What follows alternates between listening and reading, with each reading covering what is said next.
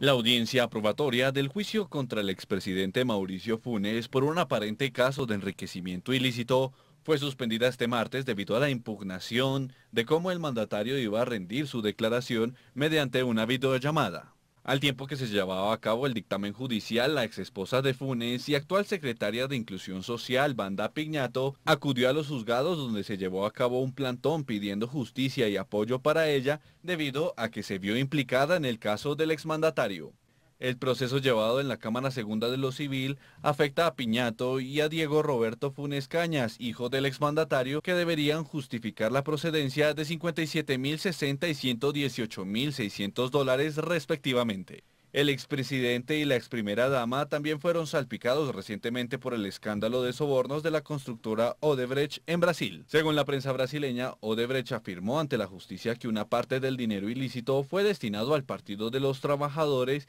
y se dedicó a la campaña presidencial de Funes.